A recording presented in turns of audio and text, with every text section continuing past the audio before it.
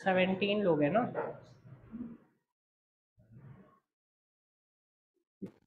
कौन कौन नहीं आया? प्रत्युष नहीं है खुशी नहीं है ध्रुव नहीं है इधर माही नहीं है चार। और कौन नहीं है? हाँ वो तो ऑनलाइन है। आ, मनन है और ये भी है। हाँ। ठीक है, बाकी सभी है तीन चार लोग नहीं है ना, बस, ठीक है। हाँ? ओके पहली क्लास में नहीं आते क्या आप?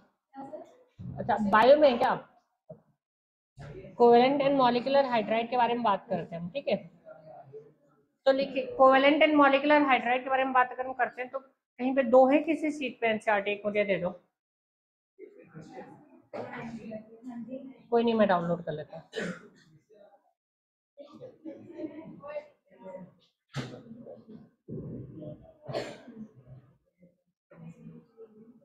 कितने पेज के नोट्स हो गए हैं अभी तक?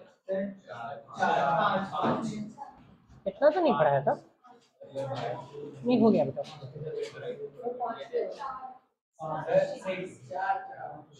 ओके ना ठीक है ठीक है. कोवेलेंट हाइड्राइड के बारे में बात करते हैं. तो जैसे हमने, जब हमने उसके बारे में बात की थी कि से फॉर एग्जांपल आयनिक हाइड्राइड तो आयनिक हाइड्राइड या उनका दूसरा नाम क्या बताया था मैंने? बताया था नहीं बताया था? सेलाइन हाइड्राइड ओके तो सेलाइन हाइड्राइड बेसिकली क्या होते हैं? आपके generally first and second group से आपके मेनली ये होते हैं। और सेकेंड ग्रुप में भी जो बेरिलियम और मैग्नीशियम होते हैं, उनको हम क्या बोलते हैं? ये दोनों आपके क्या होते हैं? आयनिक नहीं होते हैं। ठीक है तो जब हम कोवेलेंट के बारे में बात करेंगे तो कोवेलेंट में जनरली कौन से होंगे? पी ब्लॉक के होंगे सारे hydride and beryllium and magnesium hydride ये शायद बेरिलियम एंड मैग्नीशियम नहीं दिया होगा तो लिख लेना ये चीज़। एनसीआरटी में ही लिख लो बेरिलियम एंड मैग्नीशियम वाले भी। ठीक है तो जनरली आपके क्या होते हैं, आपके जनरली जो सेलाइन हाइड्राइड होते हैं, वो फ़र्स्ट एंड सेकंड ग्रुप के होते हैं एक्सेप्ट बेरिलियम एंड मैग्नीशियम और इसके क्या है बेरिलियम एंड मैग्नीशियम है, ठीक है? तो ये जनरली कोवेलेंट मॉलिक्यूल होते हैं. तो अगेन इसमें आप बता सकते हैं कि कुछ आपके क्या होते हैं इलेक्ट्रॉन रिच होते हैं, इसको अगर, इसमें कुछ ज़्यादा पढ़ाना नहीं मुझे, इसमें क्या होते हैं, दो तीन तरीके के हो सकते हैं, कुछ इलेक्ट्रॉन डेफिशिएंट होते हैं, जैसे कि आपके जो कोवेलेंट वाले हैं सॉरी अगर हम कोवेलेंट के बारे में बात करते हैं तो कोवेलेंट में क्या है आपके? दो तीन टाइप में क्लासिफाई कर सकते हो, जो लिखने की ज़रूरत नहीं है जस्ट बता दे रहा हूँ एग्ज़ाम्पल के लिए। जैसे कि बी एच थ्री हो गया। बी एच थ्री क्या है आपका? इलेक्ट्रॉन डेफिशिएंट है। और जैसे अमोनिया हो गया अमोनिया क्या है आपका? इलेक्ट्रॉन रिच हो गया। क्लियर है? तो इस तरीके से आप डिफाइन कर सकते हो। और कुछ जो हो सकते हैं, वो एग्जैक्टली exactly इलेक्ट्रॉन के प्रिसाइज हो सकते हैं जिनको आप बोलते हैं तो वो भी होते हैं। इसमें और कुछ ज़्यादा है नहीं। तो इनकी प्रिपरेशन वगैरह दिया हुआ है बुक में? नहीं दिया हुआ है।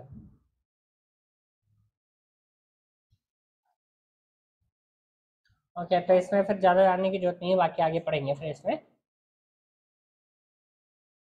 ठीक है? उसके बाद थर्ड वाला जो आता है, वो भी इतना इम्पोर्टेंट नहीं है मेटेलिक या नॉन स्टोकियोमेट्रिक या इंटरस्टिशियल हेलाइड ये भी मैं पहले पढ़ा चुका हूँ। तो इंटरस्टिशियल हेलाइड ये जो होते हैं आपके, इनका क्या होता है? हाइड्राइड्स जो होते हैं, इनकी जो सबसे खास बात होती है कि ये जो नॉर्मल आपका जो कॉम्बिनेशन ऑफ़ मेटल के जो रूल्स होते हैं, जैसे valency swapping and all those उसको फॉलो नहीं करते हैं। इंटरस्टिशियल जो वर्ड होता है इंटरस्टिशियल कंपाउंड वो कंपाउंड होते हैं, जो नॉर्मल रूल्स को फॉलो नहीं करते। जैसे नॉर्मल आपको बनाना होगा एफ़ ई और ओ बनाना होगा तो क्या होगा? या तो वो एफ़ ई ओ होगा, या तो वो क्या होगा? F E two O three होगा। बट अगर आपको इंटरस्टिशियल होगा तो कुछ भी हो सकता है। F E O zero point nine six ठीक है? या F E zero point nine two O two point three कुछ भी बना सकते हैं। मतलब मैं जर्नी की एग्जिस्ट ही करता हूँ, मैं जस्ट बता रहा हूँ। कि ये these do not follow the normal valency swapping rules is that clear बस इसमें यही जानना है आपको और इसमें कुछ है नहीं है सर उसके बाद आते हैं पानी के ऊपर। तो पानी के बारे में बहुत कुछ बता चुके हैं, कुछ क्वेश्चंस करते हैं पानी के ऊपर। ठीक है? तो क्या कर सकते हैं? पानी के बारे में सब कुछ मैं पहले ही पढ़ा चुका हूँ आपको। कुछ बचा नहीं है पानी के बारे में बताने के लिए। ठीक है? क्या बता सकते हैं और इसमें? क्या? पानी और कौन सा पानी और? तो सिंपल सी चीज़ है कि आपको पहले भी पढ़ चुके होंगे नाइन्थ में कि एडहेसिव फोर्स और कोहेसिव फोर्स जो होते हैं कि पानी के खुद के मॉलिक्यूल्स के बीच का फोर्स अच्छा होता है और उसका वाटर जो जो बचपन का एक्सप्लेनेशन था कि पानी और जो ऑयल होता है उसके बीच का इंट्रैक्शन जो होता है वो कुछ नहीं होता। ये बचपन का एक्सप्लेनेशन था। अगर आपको ज़्यादा डिटेल जाना है तो जो ऑयल होता है वो होता है आपका ऑर्गेनिक नॉन पोलर। ठीक है? और जो आपका पानी होता है वो क्या होता है आपका? पोलर। तो पोलर और नॉन पोलर ऐसे भी नहीं मिक्स होंगे। तो इस तरीके से आप बात कर सकते हैं। ठीक है? डेंसिटी वेंसिटी बताई दी थी, प्रॉपर्टी बताई दी थी। पानी की रिएक्शंस मैंने बता दिया था आपको इसका स्ट्रक्चर ऑफ़ आइस देखते जाओ, इसमें कुछ भी ऐसा हो जो आपको ना समझ में आया बताते जाओ। इसीलिए हम कर रहे हैं ये, ताकि एनसीईआरटी आपको बहुत अच्छे से क्लियर हो जाए। पानी में देख लो, कुछ भी आपको ऐसा हो जो ना समझ में आया हो बता दो मुझे। एक्सेप्ट हाइड्रेट फॉर्मेशन वो मैं पढ़ाऊँगा अभी।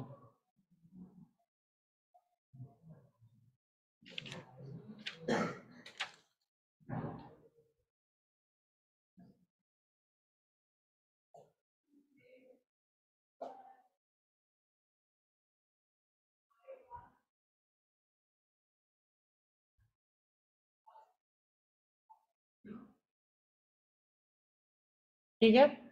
अच्छा अब डालिए वाटर हेडिंग डाल लो, पढ़ लेते हैं हम जो एक्स्ट्रा चीज़ है। ठीक है?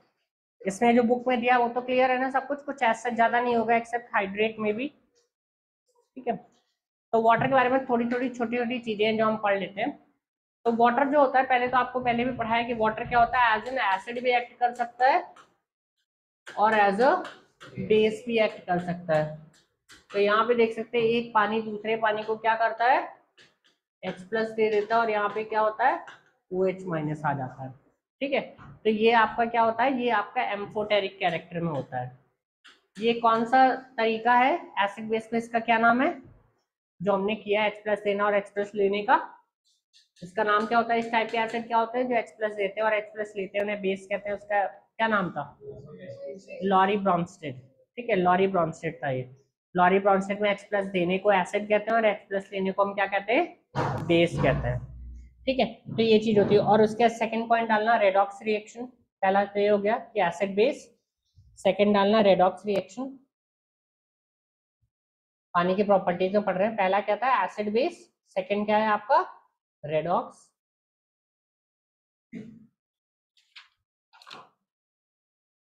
तो रेडॉक्स में क्या होगा आपको? पिछली क्लास में पढ़ा दिया था मैंने कि जब वो as an oxidising agent act करता है तो कैसे होगा? और जब वो रिड्यूस होता है पानी तो कैसे होगा? पिछले क्लास में रिएक्शन लिखाई थी ना मैंने, वो उठा के लिख लो खुद ताकि याद रहेगा। मैं लिखाऊँगा तो याद नहीं रहेगा। पिछले क्लास में पढ़ाई थी ना कि पानी एज अ रिड्यूसिंग एजेंट जब एक्ट करेगा और पानी जब as an oxidizing agent act करेगा तो क्या होगा? आपको याद होने चाहिए। तो क्या होगा? जब एन ऑक्सीडाइजिंग एजेंट होता है पानी तो क्या होता है? Two H two O plus two electron और यहाँ पे क्या आएगा आपका?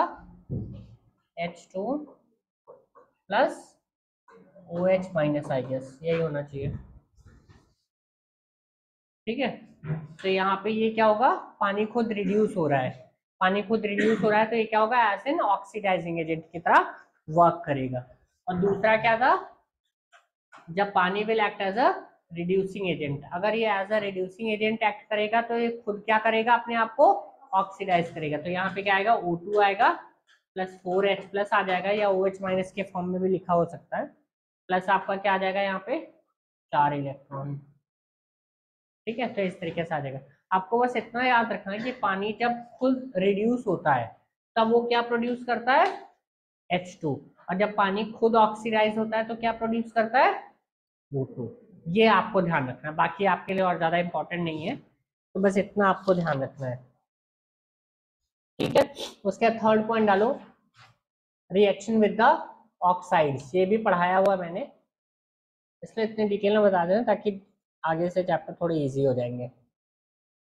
रिएक्शन विद ऑक्साइड्स तो अगर इसकी पानी की रिएक्शन मेटालिक ऑक्साइड के साथ होती है तो क्या मिलता है आपको बताइए? पढ़ाया था मैंने। पानी की रिएक्शन जब मेटालिक ऑक्साइड्स के साथ होती है तो क्या मिलता है?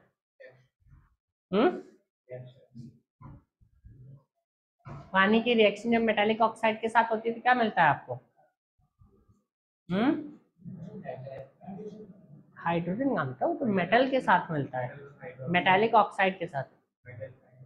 हाँ सिंपल सा चीज़ है। मेटल के ऑक्साइड्स क्या होते हैं? मैंने बताया था आपको बेस होते हैं।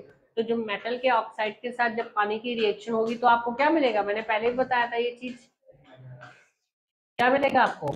बैलेंस कर लेना, मैं बैलेंस नहीं लिख रहा, ठीक है? बैलेंस में नहीं लिख रहा हूँ। क्योंकि इतना बैलेंसिंग पढ़ाई हुई तो कर सकते हो। जब मेटल के ऑक्साइड के साथ रिएक्शन होगी तो आपको क्या मिलेगा? बेस मिलेगा।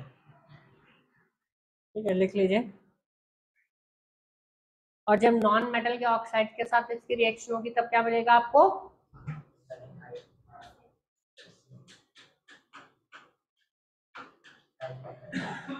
एसिड मिलता है।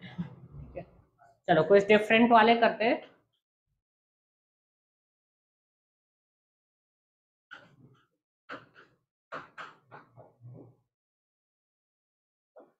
इसमें क्या मिलेगा बताना?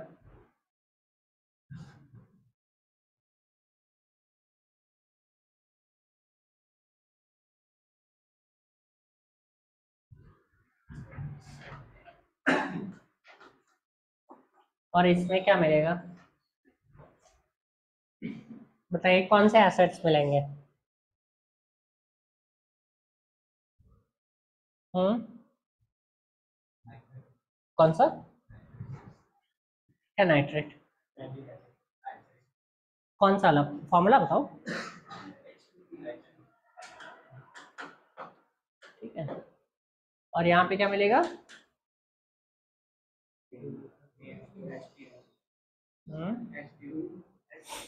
एच क्या?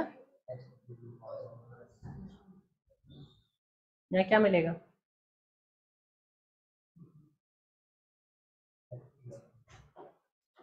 पढ़ नहीं रहे, ये भी पढ़ाया हुआ है मैंने आपको। ठीक है, इसलिए कहता हूँ, मैं नोट्स रिवाइज करते रहना। ये दो इम्पोर्टेंट इसलिए होते हैं क्योंकि मैंने क्या बताया था, अगर आप किसी एक एसिड से पानी निकाल लेते हैं तो आपको क्या मिलता है, उसका करेस्पॉन्डिंग एनहाइड्राइड मिलता है। तो लोग गलती ये करते हैं, लोग सोचते हैं एच का हाइड्राइड NO3 है। जबकि HNO3 को एनहाइड्राइड जो होता है एनहाइड्राइड एनहाइड्राइड याद है ना वर्ड कि जब किसी एसिड से हम पानी निकाल लेते हैं तो जो बचता है ऑक्साइड उसको हम नाम देते हैं एनहाइड्राइड ठीक है? तो HNO3 से जब आप पानी निकाल लेते हैं तो आपको जो मिलता है वो N2O5 मिलता है। मतलब ये दो मॉलिक्यूल मिल के पानी निकालता है। ऐसे ही H3PO4 का एनहाइड्राइड क्या होता है? P2O5 होता है। NO2 किसका एनहाइड्राइड होता है? NO2 की अगर हम बात करेंगे तो NO2 आपका सिंपल ये एनहाइड्राइड नहीं होगा एक्चुअल में। ठीक है तो क्या उसके बारे में आते हैं, फिर मिक्सड एनहाइड्राइड भी होते हैं, पढ़ाऊँगा मैं वो आपको अलग चल के बट अभी फॉर द टाइम में आपको ये याद रखना है, ठीक है? तो ये चीज़ें इसमें और क्या बता सकते हैं? चलो, अब आते हैं नेक्स्ट पोर्शन जो पहले थोड़ा बहुत आपने पढ़ा हुआ है। नेक्स्ट हेडिंग डालना कार्बाइड अच्छा मेटल के ऑक्साइड्स के साथ तो रिएक्शन करके हमने दे दिया करेस्पॉन्डिंग बेस ऐसे ही अगर मेटल के हाइड्राइड्स के साथ रिएक्शन करेंगे तब क्या होगा? या नॉन मेटल के हाइड्राइड्स के साथ जब पानी की रिएक्शन करेंगे, खासतौर से मेटल वाले, अगर आयनिक हाइड्राइड्स के साथ हम रिएक्शन करते हैं आयनिक हाइड्राइड्स जो होते हैं मेटल के सपोज़ हमने NaH ले लिया। कल पढ़ाया था इतनी डिटेल में, ये कर रहे हो? अगर NaH की पानी के साथ रिएक्शन करते हैं तो क्या होगा? भाई, रट नहीं पाओगे, सब कुछ समझना पड़ेगा आपको, बताइए। अगर मान लो मैं ये रिएक्शन आपसे होमवर्क के लिए पूछता हूँ या अभी के लिए पूछता हूँ NaH प्लस पानी, या CaH2 प्लस पानी, क्या बनेगा? क्यों बनेगा NaOH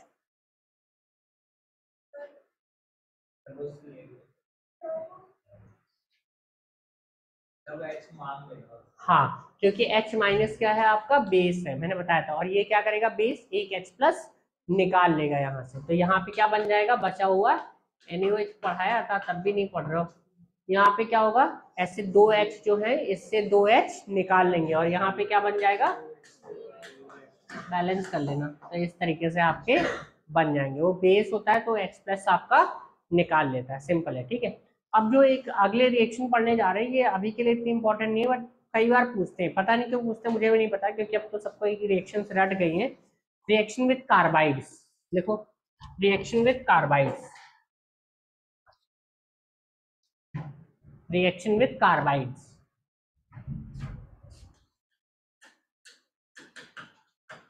reaction with carbides carbides क्या होते हैं कि स्पेशल क्लास ऑफ़ कंपाउंड होते हैं। जैसा हमने पिछली बार वो पढ़ा था ना एमओटी तो उसमें पढ़ा था ना कार्बाइड क्या होते हैं? कार्बन के ऊपर नेगेटिव चार्ज ठीक है? कार्बन नंबर कुछ भी हो सकता है, यहाँ पे एन लिख दो तो इसके ऊपर और यहाँ पे भी एक्स लिख दो, कुछ भी हो सकता है। तो ये जो होते हैं आपके कार्बन के ऊपर जो नेगेटिव चार्ज होता है, उसे हम क्या बोलते हैं? कार्बाइड्स बोलते हैं। अच्छा। तो जैसे कि इसके बहुत सारे एग्ज़ाम्पल हो सकते हैं। सी थ्री फोर माइनस हो सकता है एक, ठीक है? या सी टू टू माइनस हो सकता है। तो कुछ भी ऐसे करके कुछ भी हो सकता है। एग्ज़ाम्पल दिया मैंने। तो ये क्या होते हैं? आपके कार्बाइड्स होते हैं। जैसे इसके जो फ़ेमस एग्ज़ाम्पल है, उसके बारे में पहले कर लेते हैं। ठीक है? तो जैसे कि आपका जो सबसे फ़ेमस एग्ज़ाम्पल है, पहले वही कर लेते हैं। Aluminium carbide L four C three ठीक है? तो यहाँ पे क्या होता है आपका? ये जो सी कार्बाइड है, ये आपका ऐसे होता है बेसिकली इसमें क्या होता है? सी थ्री फोर माइनस होता है आपका। ठीक है? तो हम इसको ऐसे बोलते हैं कि ये C three sorry pardon not C three four minus C four minus होता है ठीक है? तो ये बहुत सिंपल है। मतलब इस केस में चीज़ें बहुत सिंपल होती हैं। यहाँ पे क्या है? एल्युमिनियम थ्री प्लस है और कार्बाइड क्या है? फोर माइनस है। तो ये बहुत ही सिंपल सा केस है। इसमें कोई भी डिफिकल्टी नहीं है। तो जब इसमें पानी डालते हो तो कार्बाइड क्या है आपके? फोर माइनस है तो ये क्या चाहेंगे? आपके हाइड्रोजन निकाल लेंगे ये। नेगेटिव के पास पॉजिटिव जाएगा, पॉजिटिव के पास नेगेटिव जाएगा। तो एच टू ओ में से एक एच प्लस मतलब जितने भी एच प्लस है, इसके पास चले जाएँगे। और वहाँ पे क्या चला जाएगा? ओ एच माइनस तो यहाँ पे आ जाता है ए एल ओ एच का whole thrice plus C H तो यहाँ पे मीथेन बन जाती है। तो ये सबसे फ़ेमस एग्ज़ाम्पल है, इसके पहले ये लिखा दिया एल्यूमिनियम कार्बाइड का मीथेन के साथ लिख लेना इसको। बैलेंस कर लेना अपने हिसाब से।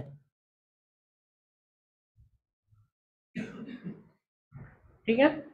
अगला जो एग्ज़ाम्पल है वो है calcium carbide plus H two O ठीक है? तो यहाँ पे जो कार्बाइड होता है, समझना, ये तो मैंने कराया था, इसमें कौन सा कार्बाइड होता है? तो कराया था उस दिन एमओटी में।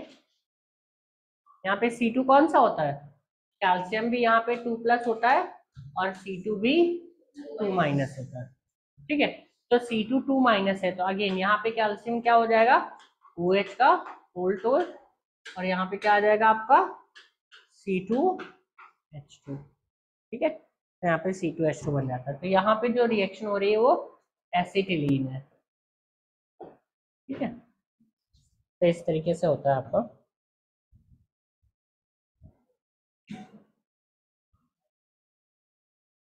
ऐसे हम कुछ भी बना सकते हैं। मतलब मैंने कैल्शियम पढ़ा दिया आपको तो यहाँ पे एम जी सी टू बना के दे सकता है आपको। ठीक है? तो ये भी बना सकते हैं। या अगर और अच्छा जाना है तो आपको चलो पहले इतना लिखो लिख लिया ना? आगे बढ़े। इसके बाद एक और होता है आपका बेरिलियम का। ये थोड़ा डिफरेंट होता है मतलब डिफरेंट क्या सेम ही है। तो यहाँ पे क्या होता है आपका बी टू प्लस है एंड सी फोर माइनस होता है। तो अगेन आपको ये आइडेंटिफाई करना कौन सा था। यहाँ पे जब एच के साथ रिएक्शन होगी तो क्या होगा आपका? कौन सी गैस बनेगी? बताइए, कौन सी गैस बनेगी यहाँ पे? सिंपल सा है कौन सी गैस बनेगी? हाइड्रोजन क्यों बनेगी? एच के साथ रिएक्शन कर। अभी तो करना बताया। सी एच फोर बनेगी बेटा। सी फोर माइनस है ना? अभी तो किया था सी फोर माइनस के करेस्पॉन्डिंग क्या बनेगी? सी एच फोर बनेगी, ठीक है? ऐसे ही लास्ट एक और है, बस M G two C three M G two C three ठीक है? तो यहाँ पे क्या होता है आपका? एम जी टू प्लस होता है and C three four minus होता है। ठीक है? तो यहाँ पे जो बनता है, जब पानी के साथ इसके रिएक्शन करते हैं, ये थोड़ा तीन आपको ध्यान रखते हैं मेनली एल्युमिनियम वाला कैल्शियम वाला और ये मैग्नीशियम वाला, ये वाला। तीनों अलग अलग कार्बाइड मतलब तो यहाँ पे क्या होगा आपका? C H three C triple bond C H यहाँ पे प्रोपिलीन बनती है। ठीक है?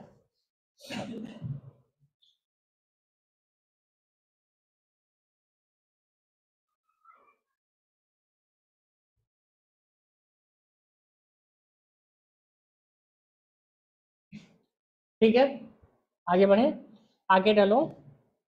क्रिस्टलाइन वाटर क्रिस्टलाइन वाटर तो मैंने तीनों टाइप आपको बता दिया इतना ध्यान रखना। कौन कौन से तीन टाइप के कार्बाइड है? एक सी फोर माइनस है, एक सी टू टू माइनस और एक क्या है? सी थ्री फोर माइनस है। तो तीनों में कौन सी गैस मिलेगी? क्लियर है? आगे डालो। नेक्स्ट जो है क्रिस्टलाइन वाटर ठीक है, ये इंपॉर्टेंट है, इसको मतलब next point next point crystalline water किसका? ये। नाम अभी पढ़ने की ज़रूरत नहीं प्रोपिलीन बोलते हैं बट आपको अभी ज़रूरत नहीं है, इसके तो नॉमन पूरा पढ़ोगे तो।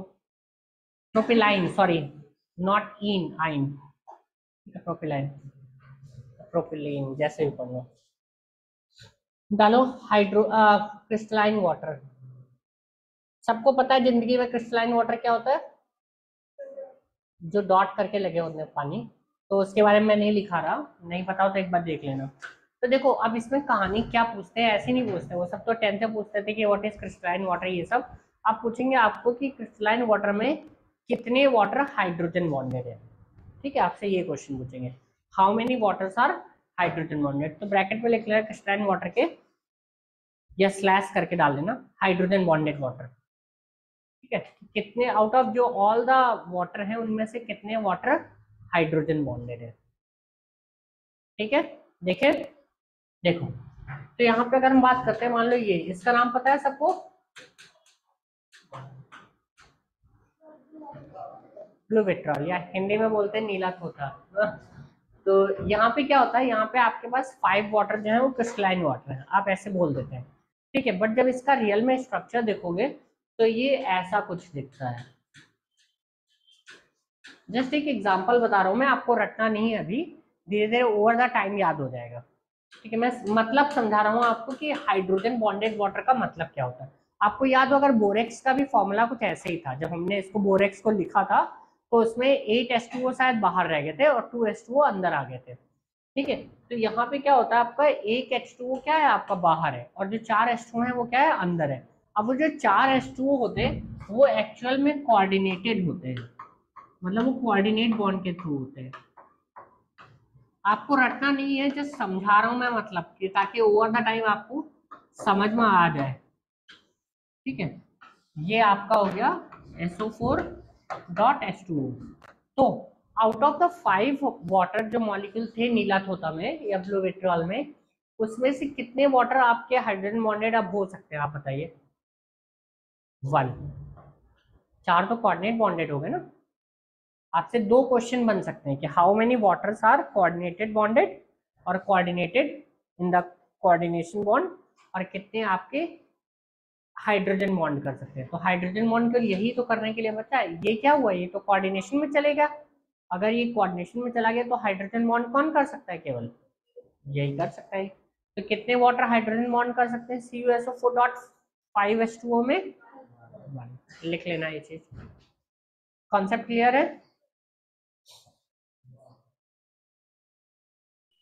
और बता दो। क्या बेटा? क्या कह रहे हैं आप? एक मिनट। क्या कह रहे हैं? समझ में नहीं आया। क्या कह रहा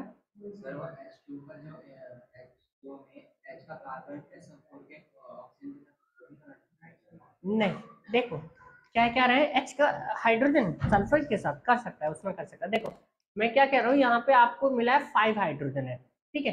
तो ये कह रहा है कि मान लो दूसरे साइड से कोई कुछ और चीज़ आती है जो हाइड्रोजन बॉन्ड कर सकती है। तो इसमें से कितने वाटर अवेलेबल होंगे for the hydrogen bonding purpose ठीक है? तो जो फोर हाइड्रोजन हैं, वो अंदर चले गए स्फेयर में, ठीक है? तो ये कोऑर्डिनेशन में इन्वॉल्व है। अगर ये फोर हाइड्रोजन जो H2O है, ये कोऑर्डिनेशन में इन्वॉल्व है तो बचे कितने? एक ही बचा फ्री है। तो जो ये फ्री वाला है, केवल यही क्या करेगा? कोऑर्डिनेट हाइड्रोजन बॉन्ड करेगा। Is that clear now clear हो गया बेटा? रिश्ता क्लियर है? ओके तो इस तरीके से आप यहाँ पे देख सकते हैं, ठीक है? ऐसे ही अगर आपसे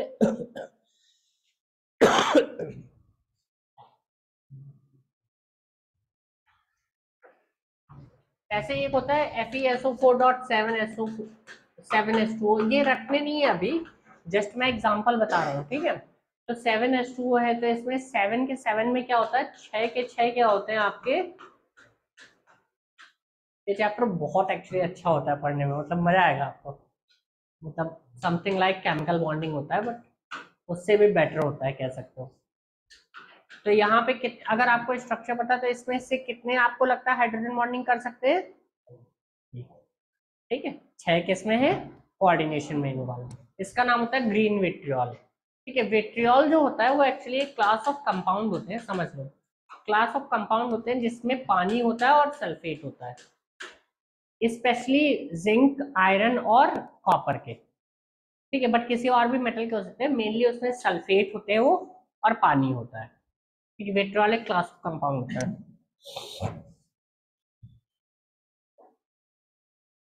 ठीक है तो बता दिया। अब क्या आते हैं? अब आते हैं कठिन और आई मीन कठिन क्या बोलने इसे? नहीं। हार्ड को हिंदी में क्या बोलते हैं? हाँ कठोर और सॉफ्ट को मुलायम पानी पे हाँ? अगर इसको हिंदी में करें। हार्ड एंड सॉफ्ट वाटर ठीक है सॉफ्ट एंड हार्ड वाटर के बारे में बात करते हैं। तो जैसे कि नाम से आपको पता चल रहा है कि हार्ड मतलब क्या होगा? सख्त होगा वो। ठीक है मतलब वो जो देखा होगा आपने जाकिर खान का स्टैंड अप पाएगा सभी ने देखा ही होगा। नहीं देखा? जाकिर खान का स्टैंड अप हाँ सख्त। सख्त लड़का मतलब तो वही। नहीं देखा? ओके अच्छा पॉइंट ये कि जो भी हार्ड होता है वो देर से पिघलता है। ठीक है? तो पॉइंट यहाँ पे कि हार्ड एंड सॉफ्ट वाटर देखो समझ लो पहले डिफरेंस समझ लो। कि सॉफ्ट वाटर क्या होता है? जैसे कि नाम उसका रिप्रेजेंट कर रहा है कि सॉफ्ट वाटर क्या होगा आपका? जो कि जल्दी पिघल जाएगा। मतलब कि उसमें क्या होता है? वो जल्दी क्विक रिएक्शन देता है। जैसे फॉर एग्ज़ाम्पल अगर मान लो कि दो लोग हैं। नहीं। ठीक है तो यहाँ पे आते हैं सॉफ्ट के ऊपर क्या होता है? सॉफ्ट क्या होता है? क्विक रिएक्शन देता है। तो ये क्या करता है? जल्दी फ्रॉडिंग वगैरह दे देता है। अगर आप डिटर्जेंट देंगे तो अच्छे से कपड़े साफ़ करेंगे, ज़्यादा फ्रॉथ बन जाता है। और यहाँ पे क्या होता है आपका?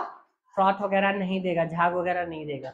ठीक है तो ये चीज़ होती है रिएक्शन दे और इसमें क्या होता है, अगर आप हार्ड वाटर को over the period of time use करते रहेंगे तो अगर आपने देखे होंगे कई बार जो ओल्ड टैप होते हैं और जहाँ का पानी खराब हो, उसमें टैप के ऊपर केक टाइप का बन जाता है या क्या बोलते हैं केक ही बोलते हैं ना उसे लेयर टाइप के बन जाते हैं कुछ उसकी। देखा आपने कभी? हाँ नेसेसरी नहीं ग्रीन हो तो डिपेंड करेगा सॉल्ट क्या है बट केक केकी टाइप की लेयर बन जाती है। देखे आपने नहीं देखा? फ्लेक्स टाइप के बन जाते हैं कभी सड़क पे भी नहीं देखा? ओके नहीं कोई बात नहीं। नहीं देखा होगा तो आपने देखा बाकी लोगों की बात है ना? अच्छा नोएडा का हार्ड वाटर है? एक्चुअली यहाँ पे तो फिर भी बेटर है इस एरिया में। मतलब पंचशील में तो मुझे पता नहीं, मैं मतलब पहले मैं उधर रहता था थर्टी फाइव में तो वहाँ तो पानी बहुत खराब है एक्चुअली एज कंपेयर टू इधर के। होगा। हो सकता और भी अच्छा। आई गेस मुझे एक्चुअली पता नहीं। मेडिसिनल मैं ऐसे गेस कर सकता हूँ बट मुझे एग्जैक्ट पता नहीं है चीज़। हाँ? सॉल्ट है बेटा। बॉडी में जाके वो कैसे रिएक्ट करेंगे पता नहीं मुझे। कार्बोनेट का सॉल्ट है या क्लोराइड का सॉल्ट है तो उसके ऊपर क्या होगा? तो खैर, कोई बात नहीं। तो पॉइंट ये कि ये हमें पीना नहीं है, ठीक है? हमें फिल्टर्ड वाटर पीना है, ठीक है? गलती से एक्सपेरिमेंट मत करने लग जाना घर पे। आर वगैरह लगा के पीना, ठीक है? तो ये क्या होता है? अरे, एक एक पानी आता है, पता नहीं मतलब उस दिन ऐसे ही मेरा मन था कि फ़ैन का बर्थडे था तो हम पानी लेके आए थे मतलब सिक्स हंड्रेड का हाफ़ लीटर समथिंग आता है, वो पता नहीं हाँ ब्लैक वाटर वो और पता नहीं मतलब क्या है उसमें मतलब मैं लेके मुझे लगा कि कुछ तो टेस्ट होगा मतलब मतलब बिल्कुल भी टेस्ट नहीं था, कैसा है वो पानी? तो वो पानी भी पी सकते हैं आप। ओके नहीं ब्लैक भी नहीं ब्लैक था और एक एक वाइट भी था। बट उसकी जो बॉटल थी वो सुराही जैसी थी, अगर आपने देखा हो। ठीक है। Okay let's come back to the point वापस आते हैं। अगर कहीं इसके इफ़ेक्ट मिलेंगे साइड इफ़ेक्ट मिलेंगे तो मैं बता दूँगा, ठीक है? वरना नेक्स्ट क्लास में बता दूँगा मैं। क्या? हाँ बाय वाले को बताना क्या फ़र्क पड़ता है। हार्ड वाटर पीने से। हाँ मतलब ये क्या मतलब जो भी बाई की प्रॉब्लम हो बाई वाले से बात करना। या सागर सर आए तो उनसे पूछना, ठीक है? वो अच्छा कम से कम कुछ फनी रिस्पॉन्स दे देंगे। तो वही। Okay now let's come back to the point hard and soft water तो हार्ड एंड सॉफ्ट वाटर में क्या होता है? सॉफ्ट वाटर प्रॉब्लम नहीं देता है, और जो हार्ड वाटर है, वो प्रॉब्लम देता है। हार्ड वाटर क्या करता है आपका? कि जो आपके डिटर्जेंट होते हैं, वो आपकी ज़िंदगी के रहने के मतलब थोड़ा सा टफ कर देता है। ज़्यादा चीज़ें खरीदनी पड़ेंगी आपको, ज़्यादा डिटर्जेंट यूज़ करना पड़ेगा, ज़्यादा इजी वगैरह यूज़ करना पड़ेगा। ठीक है वॉशिंग मशीन जल्दी खराब हो जाएगी तो बर्बाद हो जाएँगी चीज़ें। तो अब देखो तो टाइप ऑफ़ हार्डनेस होती है, वो दो तरीके की होती है, ठीक है? एक तो हार्डनेस होती है जो आप इजिली रिमूव कर सकते हैं और एक जिसको इजिली रिमूव नहीं कर सकते। तो जो इजिली रिमूव कर सकते हैं, उसको हम बोलते हैं टेम्परेरी हार्डनेस और जो इसकी बोलते हैं, इसको क्या बोलते हैं? परमानेंट हार्डनेस ठीक है सब लिखने की जो होती है, आपके उसमें दिया है, जो लिखना होगा वो मैं बता दूँगा, ठीक है? तो देखिए, आप बुक में अपनी तो जैसा लिखा hard water forms scum precipitate with the soap तो यहाँ पे देख सकते हैं आपको क्या होता है, एक सोप होता है सोप आपका पता है आपको क्या होता है, जिससे नहाते और कपड़ा धोते हैं। और क्या होता है सी, हाथ भी धोते हैं बट हम हैंड वॉश यूज़ करते हैं, हम सोप नहीं यूज़ करते। तो C seventeen S thirty five C O N इसका नाम होता है सोडियम स्टीयरेट ठीक है, इसका जब आप मेटल जो होते हैं, उसमें कैल्शियम और मैग्नीशियम के बेसिकली सॉल्ट होते हैं। जो हार्ड वाटर होता है, उसमें कैल्शियम और मैग्नीशियम के सॉल्ट होते हैं। अब आप सोचेंगे, सर क्रोमियम भी हो सकता है, लेकिन होते हैं वो फिर जहरीला पानी बोलते हैं उसे, ठीक है? मतलब अगर कैल्शियम और मैग्नीशियम छोड़िए कोई और सॉल्ट मिल रहा है आपको अपने आगे पानी में तो जहरीला पानी हो जाएगा, ठीक है? मिला तो एक्चुअली बहुत बड़ा एक्चुअली स्कैंडल हुआ था। या आप अगर कहीं पे भी, जहाँ पे भी इंडस्ट्रियल एरिया है, वहाँ का पानी अगर आप चेक करेंगे, जहाँ पे एटलीस्ट लेदर वगैरह और कहीं का काम होता है तो वहाँ के पानी अच्छे नहीं होते तो मतलब hard water is a nice water for them ये कह सकते हो आप, क्योंकि उन्हें जहरीला पानी होता है। देखा होगा आपने, अगर जहाँ पे मेटल का वर्क होता है मेटल की फाउंड्रीज वगैरह होती हैं, वहाँ के आसपास के लोगों को कैंसर वगैरह बहुत ज़्यादा होता है। और उसका वन ऑफ़ द रीजन होता है क्रोमियम सिक्स जो होता है। खैर, वो सब अलग चीज़ है बट ठीक है। तो मतलब मैं ये कह रहा हूँ कि hard water is not the worst thing in the world now coming to the point temporary hardness ठीक है? तो जो टेम्परेरी हार्डनेस होती है, वो कैल्शियम और मैग्नीशियम के बाइकार्बोनेट या हाइड्रोजन कार्बोनेट की वजह से होती है। तो इसको कैसे कैसे दूर कर सकते हैं? ठीक है तो इसको रिमूव करने का पहला तरीका है कि इसको उबाल दो पानी। तो हमेशा पानी उबाल के पीना चाहिए, ठीक है? तो पानी को उबालोगे तो यहाँ पे क्या आएगा कि आपका CO2 बाहर निकल जाएगा और आपका वहाँ पे क्या बनेगा? केवल और केवल जो मैग्नीशियम और कैल्शियम के क्या मिलेंगे आपको? हाइड्रोक्साइड या कार्बोनेट मिल जाएँगे। और कैल्शियम कार्बोनेट और जो मैग्नीशियम हाइड्रोक्साइड होता है, वो क्या हो जाता है? आपका प्रेसिपिटेट आउट हो जाता है, ठीक है? तो अगर एक समथिंग कैन बी आपने देखा होगा एक्चुअली अगर यहाँ नोएडा का पानी हार्ड है तो मैंने तो देखा नहीं, मेड देखती होगी। तो जब उसे उबालोगे पानी तो नीचे आपको कुछ मिलता है क्या? ये ऊपर वाली तो हाँ नीचे व्हाइट हो जाता है तो हार्ड वाटर है फिर नोएडा का, ठीक है। तो मतलब वो जो जो व्हाइट नीचे प्रेसिपिटेट होता है, वो बेसिकली यही है, आप देख सकते हैं यहाँ पे। मैग्नीशियम हाइड्रोक्साइड का प्रेसिपिटेट होगा या फिर कैल्शियम कार्बोनेट का प्रेसिपिटेट होगा। क्लियर है? ठीक है, इसमें और कुछ बताने वाला है नहीं मेरे लिए। उसके बाद आते हैं क्लार्क मेथड के ऊपर क्लार्क मेथड में क्या होता है कि इसको जो कैल्शियम के बाइकार्बोनेट या मैग्नीशियम के बाइकार्बोनेट होते हैं, उनको हम करेस्पॉन्डिंग कैल्शियम या मैग्नीशियम के हाइड्रोक्साइड से रिएक्ट कर देते हैं। तो यहाँ पे क्या होता है, जो भी हार्डनेस होती है, वो अगेन प्रेसिपिटेट आउट होके निकल जाती है। क्लियर है? इसमें और क्या ही बताएँगे?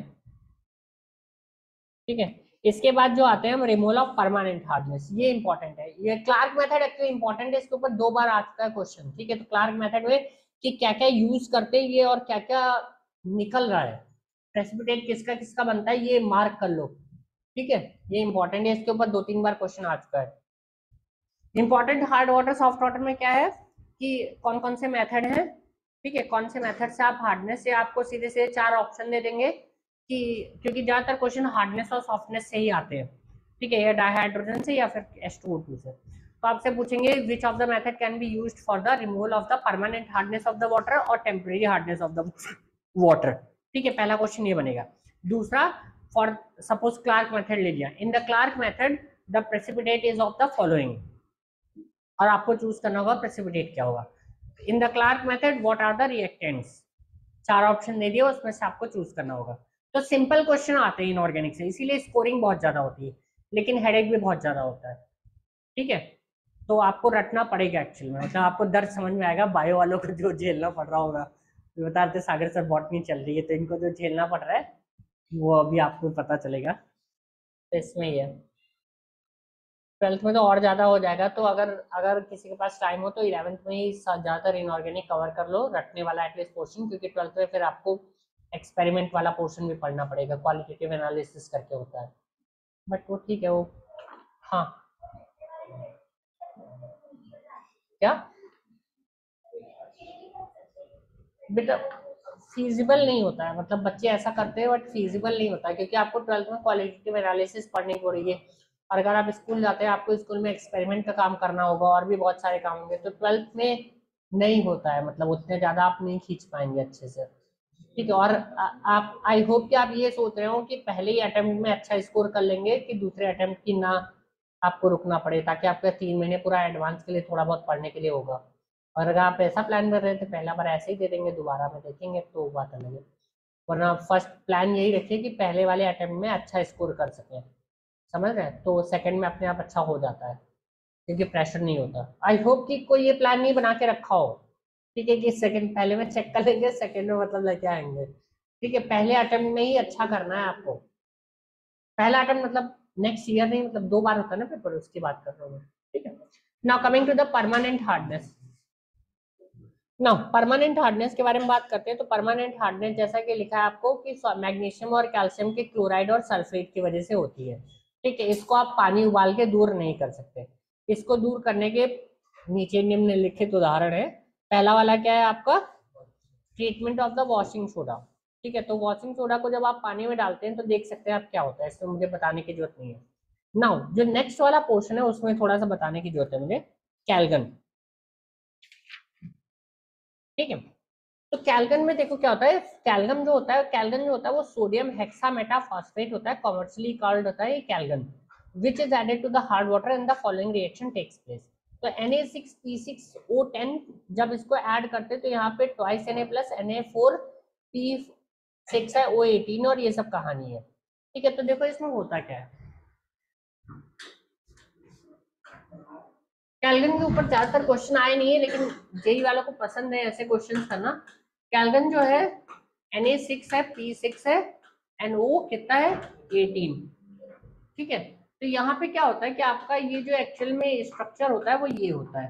मतलब इसका जो रियल में होता है,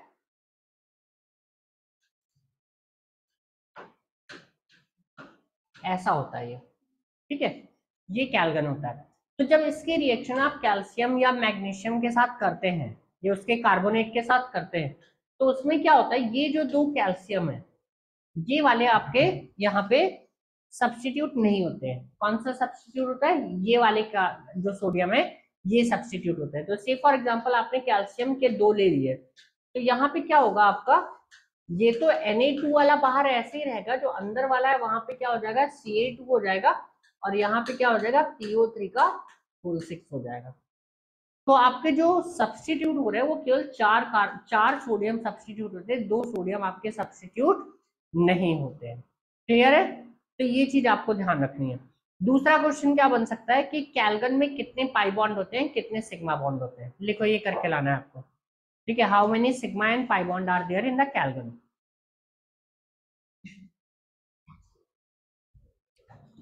how many pi and sigma bond are there in the calgon?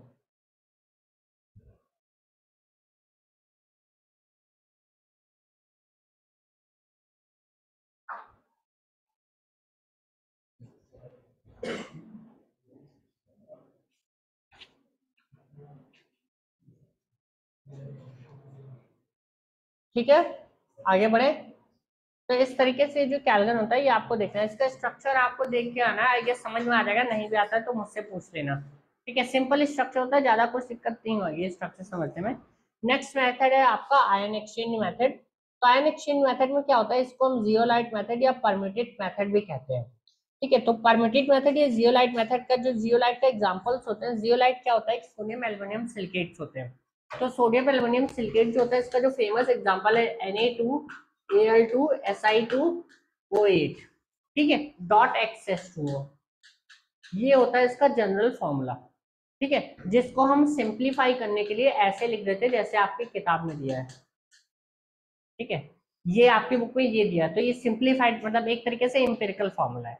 Real formula ये तरीका होता है, ठीक है? तो यहाँ पे क्या होता है, आपका जो परमिटेट होता है, आपका इसको परमिटेट या जियोलाइट बोलते हैं, इसका जब मेटल के साथ रिएक्शन होता है तो आपका सोडियम का छोड़ के बाकी का पूरा क्या हो जाता है, यहाँ पे एक्सचेंज हो जाता है। तो जैसे मैं एक एग्जांपल लिख के दिखा देता हूँ, आपके इसमें ढंग से दिया नहीं है बुक में। तो देखिए, यहाँ पे क्या होता है आपका? लिख लो जस्ट समझने के लिए, बाकी पूछेगा नहीं कोई इंपॉर्टेंट नहीं है इतना। ठीक है, मान लो कैल्शियम टू प्लस के साथ इसकी रिएक्शन कराते हो तो देखो यहाँ पे।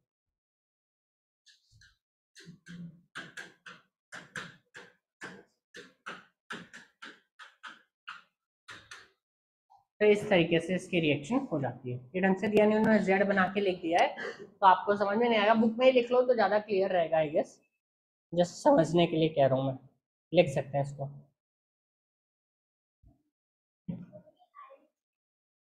क्या बेटा? हाँ आयन एक्सचेंज आयन का एक्सचेंज हुआ ना, देखो यहाँ पे आपको कैल्शियम की वजह से आपका क्या था? हार्डनेस थी। तो आपने कैल्शियम को किससे एक्सचेंज कर दिया? सोडियम से। कैल्शियम निकल गया बाहर और कैल्शियम और मैग्नीशियम ही निकालना है आपको। तो वही तो हम कर रहे हैं उतनी देर से ना? हार्डनेस का मतलब क्या? Removal of calcium and magnesium. बाकी सल्फेट वगैरह, क्लोराइड वगैरह तो कैसे भी निकल जाएँगे।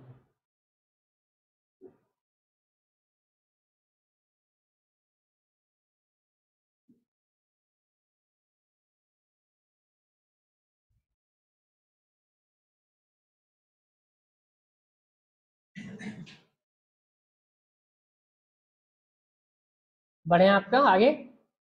नेक्स्ट आता है आपका synthetic resin method resin basically एक टाइप ऑफ़ कंपाउंड होते हैं जो कि बहुत ही बड़े ऑर्गेनिक कंपाउंड होते हैं। जैसे मैं उसका एक एग्जांपल बता देता हूँ। करेक्ट रिप्रेजेंटेशन नहीं होगा जो मैं बना रहा हूँ बट अंडरस्टैंडिंग के लिए ठीक होगा ठीक है? क्योंकि रटना नहीं है आपको। तो रेजिन क्या होते हैं? बेसिकली दो तरीके के रेजिन होते हैं। आ, एक कैटाइन एक्सचेंज रेजिन होता है एक एनाइन एक्सचेंज रेजिन होता है। मैं दोनों का एग्ज़ाम्पल समझा देता हूँ।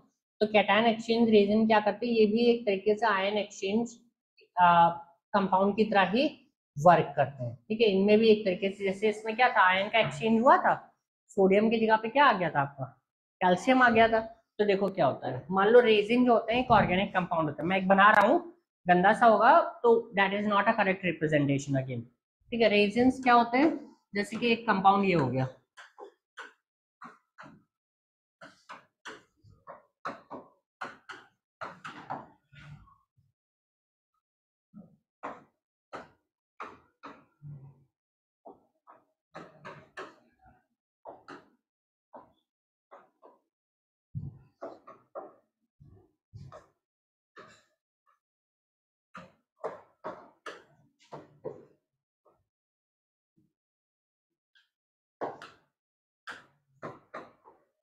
आपको याद नहीं करना है, ठीक है ये?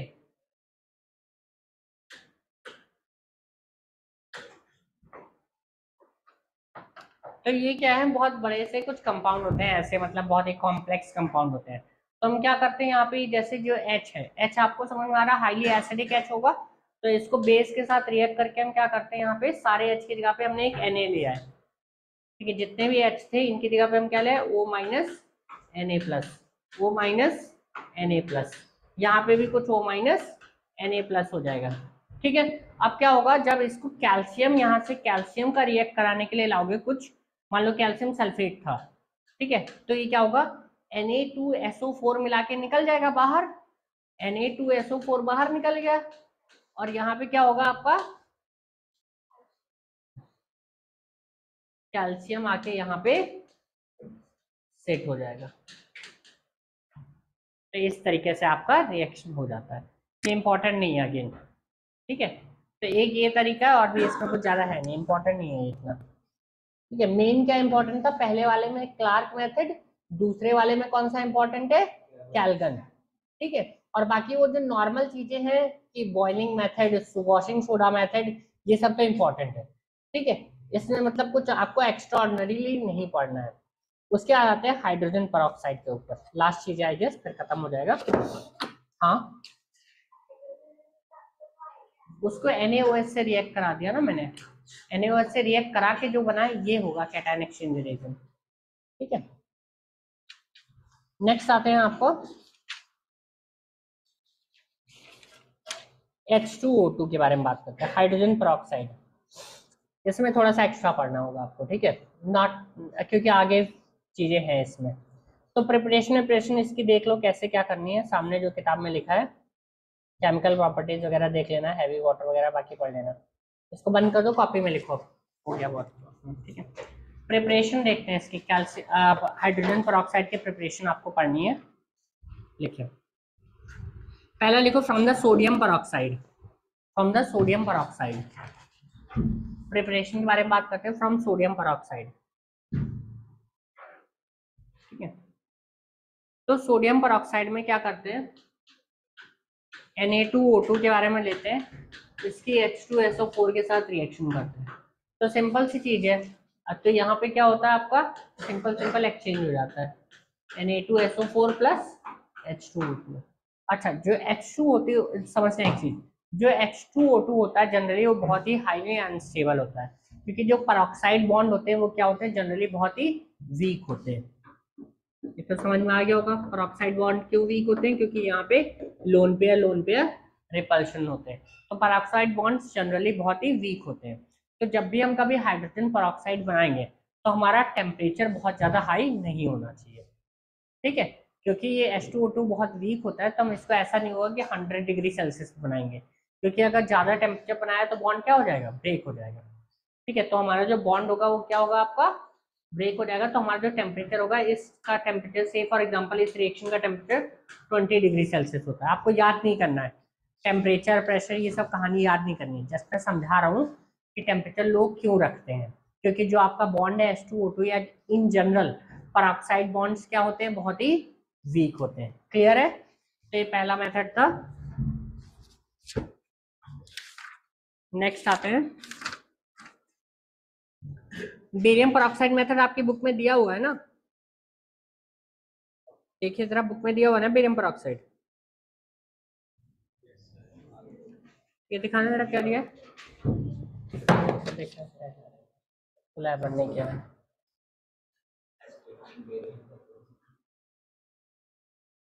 तो बेरियम परऑक्साइड के H2SO4 से रिएक्शन करा दी इन्होंने तो आपको बेरियम सल्फेट मिल जाता है और H2O2 बन जाता है। ठीक है? और पानी मिल जाता है। ठीक है?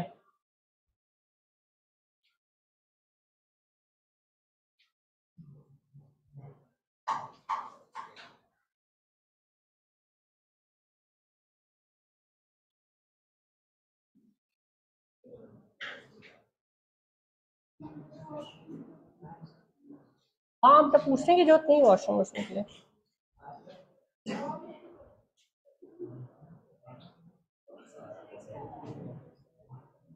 ठीक है, अगला लिखे।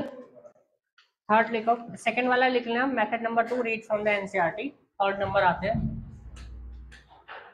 ठीक है, रटने वाले इसमें कुछ ज़्यादा समझाने वाला नहीं है। थर्ड जो है इंपॉर्टेंट है। ठीक है डिफ़िकल्ट भी है और इम्पोर्टेंट भी है। इसके जो प्रिपरेशन है एस टू की, मैं इसलिए अलग से पढ़ा रहा हूँ क्योंकि इंपॉर्टेंट है तो ध्यान देना, ठीक है? तो जो बी ए टू होता है, जो आपने पहले वाला सेकेंड मेथड में पढ़ा है एट एस टू ओ ठीक है? इसको हम लेते हैं, इसके तीन मॉलिक्यूल लेते हैं। और इसके रिएक्शन करते हैं two H three P O four के साथ या फॉस्फोरिक एसिड के साथ। तो यहाँ पे क्या बन जाता है आपका? बेरियम फॉस्फेट बन जाता है। अब देखो, आपको रटने की ज़रूरत नहीं है यहाँ पे, समझो। अगर आपको सेकंड वाला आता है रिएक्शन सेकंड वाली रिएक्शन जो आपके बुक में दी है तो is it different from the third one second one देखो जरा ढंग से। मैं बैलेंसिंग की बात नहीं कर रहा हूँ कि अगर आप सेकंड रिएक्शन जो आपके एनसीईआरटी में दी गई, अगर आपको वो रिएक्शन आती है तो क्या इस रिएक्शन का प्रोडक्ट बनाना डिफ़िकल्ट होता है आपके लिए? सोचो, थोड़ा दिमाग को डेवलप करो, क्योंकि रखने की ज़रूरत नहीं आपको हर चीज़ उसमें जो दिया है, उसका एच टू एस फोर के साथ रिएक्शन कराइए और वहाँ पे क्या मिला था? बेरियम सल्फेट बना था। तो मैं यहाँ पे बस फॉस्फेट ले लेता हूँ। भाई, मैं यहाँ पे कुछ और भी ले सकता था। ठीक है, जो नहीं कि फॉस्फेट ले लेता, मैं क्लोरेट ले लेता H C L O four ले लेता। ठीक है तो क्या होता है यहाँ पे? बेरियम क्लोरेट बन जाता। हाइपोथेटिकली बनता नहीं बनता, उसकी बात नहीं कर रहे हैं, हम जस्ट बोल रहे तो यहाँ पे क्या बन गया? वहाँ पे एस टू था एस टू और क्या निकलता था वहाँ पे? पानी। पानी निकाल दिया। तो आपको रटने की ज़रूरत नहीं है हर जगह, ठीक है? बैलेंसिंग हो सकता है डिफ़िकल्ट हो जाए। अदरवाइज़ सिंपल सेम चीज़ है। पिछले वाले में सल्फेट के साथ रिएक्शन किया था तो सल्फेट बन गया था यहाँ पे। फॉस्फेट के साथ किया तो फॉस्फेट बन गया और एस बन गया। तो आपको ध्यान क्या रखना है? साइड प्रोडक्ट के ऊपर इतना ध्यान नहीं देना। मैं पहले आज बता देता हूँ, लिख लो कहीं पे। जब भी इनऑर्गेनिक पढ़ोगे दो तीन चीज़ों का ध्यान देना है आपको, ठीक है? जिसके ऊपर क्वेश्चन आते हैं, आप उठा के लिख सकते हैं। पहला, क्या रिएक्शन में कोई गैस बन रही है? लिख लो मतलब मतलब वैसे याद नहीं रखोगे, कहाँ याद रखो ठीक है, कि क्या क्या चीज़ें ध्यान देनी है आपको पढ़ते वक्त? क्या रिएक्शन में मतलब कोई गैस बन रही है, या कोई प्रेसिपिटेट बन रहा है, या कोई स्पेशली कलर्ड कंपाउंड है? ठीक है, कि कहीं, जैसे K two C R O two O seven या के सी आर फोर आपके ऑरेंज होते हैं। तो ऐसा कुछ कलर्ड है? क्या स्पेशली कोई कलर्ड कंपाउंड है। और अगर आपको देख के लग रहा है कि आप एक नज़र में रिएक्शन को बैलेंस नहीं कर सकते, ठीक है? तो उसकी बैलेंसिंग आपको देखनी होगी। अगर आपको लग रहा है स्पेशली डिफ़िकल्ट है कुछ, ठीक है? तो उसकी बैलेंसिंग आपको देखनी पड़ेगी। अगर इजी है तो कर सकते हो, ठीक है? तो क्या बन रहा है? प्रेसिपिटेट क्या है? गैस क्या है? और इन रेयर केसेस बैलेंसिंग और क्या है? हाँ और कई बार क्या होता है, कुछ कंपाउंड की स्मेल भी इंपॉर्टेंट होती है। ठीक है, जैसे कि फॉस्फीन होता है, उसकी जो होती है रॉटन फ़िश जैसे स्मेल होती है। ठीक है एच टू एस है, उसकी रॉटन एग जैसे स्मेल होती है। तो ये सब आपको ओवर द टाइम पढ़ना है, अभी नहीं पढ़ना सारा। इस चैप्टर में तो कुछ ऐसा नहीं है। मैं बता रहा हूँ क्वेश्चन आते कहाँ से, ये बता रहा हूँ। ठीक है तो ये मेन चीज़ें आपको ध्यान देनी है। और मेन जैसे जो चीज़ पढ़ रहे हैं, वो तो पढ़ने के जैसे एस टू ओ टू पढ़ रहे हो तो रिएक्शन में एस टू ओ टू बन रहा है, वो तो ध्यान देना ही है ना। मतलब कि किस चीज़ की प्रिपरेशन कर रहे हो आप? कि एस टू ओ टू की प्रिपरेशन का मेथड है तो हमें एस टू पढ़ना है। ठीक है? आगे लिखिए। बाकी तो हो गया।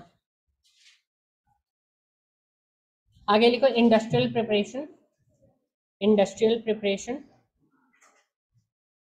industrial preparation देखो, पहला पॉइंट दरवाज़ा बंद कर लो बेटा। ठीक है ओके बंद कर दो। वो कर दे रही कर देखो।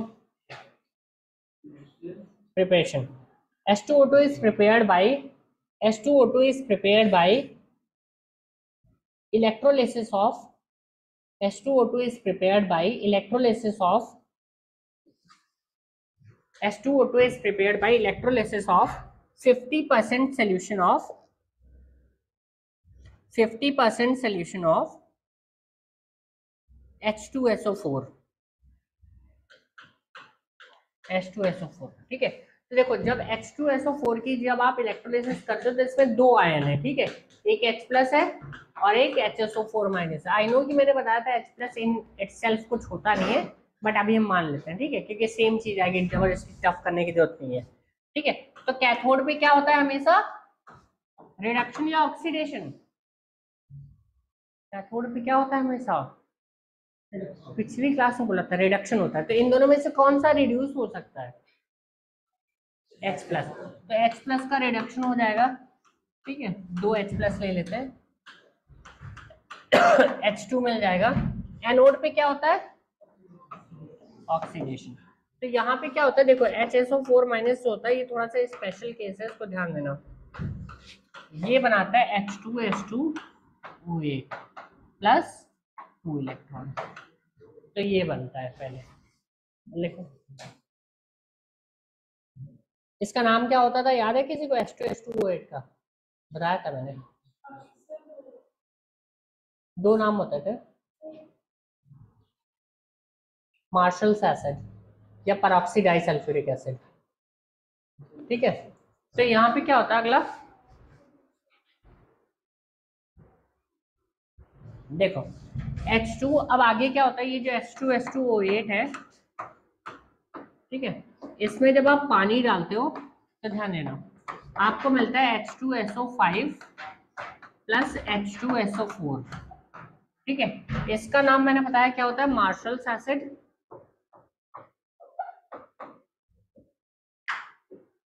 इसका नाम होता है कैरोज एसिड इसका तो याद होगा आपको, इसमें एक परऑक्साइड लिंकेज होती थी। इसमें भी कैरोज होती थी ठीक है। कैरोज एसिड होता था।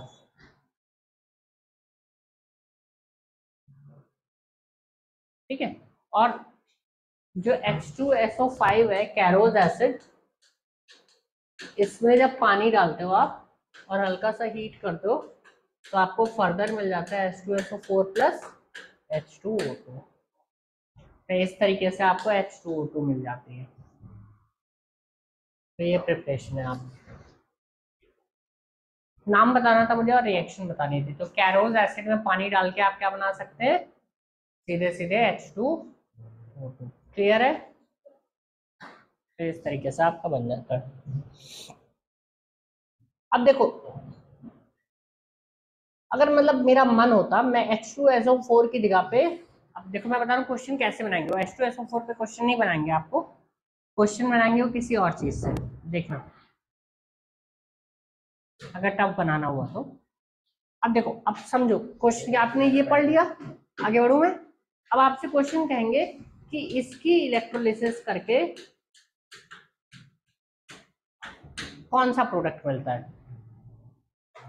अगर मैं कहूँ इसकी इलेक्ट्रोलिसिस करके कौन सा प्रोडक्ट मिलता है? तो क्या दिक्कत है? बस एक हाइड्रोजन की जगह NH4 ही तो लगा दिया मैंने। ठीक है? तो यहाँ पे क्या हो जाएगा? एक तो एन एच फोर प्लस हो गया। ठीक है? एक तो एन एच फोर हो गया और एक क्या हो गया? H S O four minus इसके थ्रू आपको क्या प्रोडक्ट मिलेगा? अभी तो किया? H2O2 और जब इसका रिडक्शन करोगे तो आपको क्या मिलेगा? देखो, अगर एन एच फोर प्लस का रिडक्शन करोगे तो आपको क्या मिलेगा? बताइए।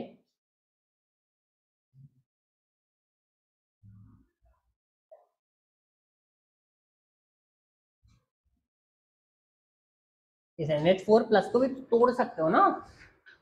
अमोनिया प्लस एच प्लस में।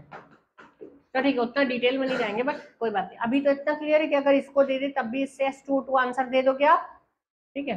नेक्स्ट लिखो। नेक्स्ट लिखना, और उसको बाद में पढ़ेंगे हम। अभी नहीं पढ़ेंगे मतलब उस टॉपिक को बट इंपॉर्टेंट है ये भी। By auto oxidation of by next मतलब मेथड है। By auto oxidation of two ethyl two ethyl ऐसे लिखना two ethyl anthraquinol. Two ethyl anthraquinol ये भी ऑर्गेनिक के हिसाब से है ये। मतलब इनऑर्गेनिक के हिसाब से इंपॉर्टेंट नहीं है।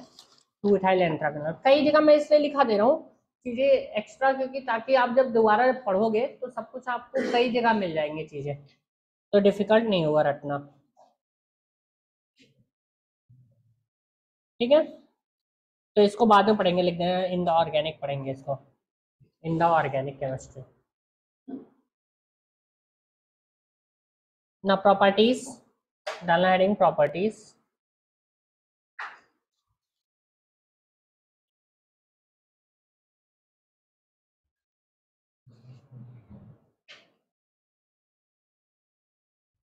के प्रॉपर्टीज़ आपको पढ़ लेनी होंगी। कि आपको ये तो मैंने बता ही चुका हूँ कि H2O2 जो होता है एज एन ऑक्सीडाइजिंग एजेंट वगैरह काम करता है। तो बाकी जितनी इसमें दी है, उतनी पढ़ लेना, उससे ज़्यादा कहीं पढ़ेंगे। ऐसे तो पढ़ाने के लिए पूरी केमिस्ट्री खत्म हो जाएगी, पढ़ते पढ़ते ये। ठीक है तो इसमें जो लिखा है, वो पढ़ लेना आप, ठीक है? और उसके बाद इसका जो स्टोरेज है स्टोरेज वाला पोर्शन थोड़ा इंपॉर्टेंट है, वो देख लेना, ठीक है? कि ऑक्सी जो एन में स्टोरेज दिया है। ठीक है? तो उसमें क्या होता है? एज ए स्टोरेज यूज़ होता है और dihydrogen as a fuel जो टॉपिक है, उसको देख लेना जरा। डाई हाइड्रोजन क्या होता है? बहुत ही ज़्यादा हीट आपका रिमूव करता है। तो ऐसे ही क्वेश्चन बनता है हाइड्राजोन क्या होता है? ठीक है हाइड्राजोन बोलो हाइड्राजीन नहीं बोल रहा मैं ठीक है हाइड्राजोन तो हाइड्राजोन जो होता है, वो ट्राई हाइड्रोजन को बोलते हैं। एनसीआरटी में लिख लेना। हाइड्राजोन ट्राई हाइड्रोजन करके होता है एक फ्यूल होता है बेसिकली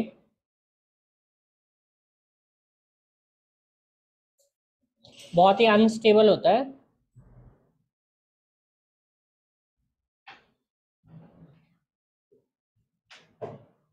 ये फ्यूल नहीं होता सॉरी बट फ्यूल मत लिखना। अनस्टेबल होता है क्योंकि अनस्टेबल है तो फ्यूल तो नहीं होगा।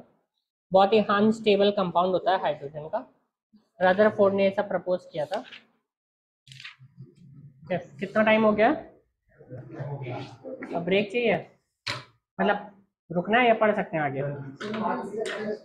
हाँ तो सात बजे से टेस्ट है ना?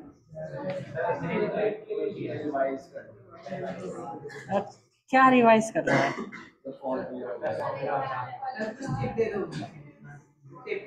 क्या टिप देने बेटा? सब कुछ सब कुछ तो पढ़ा दिया है। हाँ आ, जो बायो वाले हैं वो पीछे से शुरू करना केमिस्ट्री ठीक है?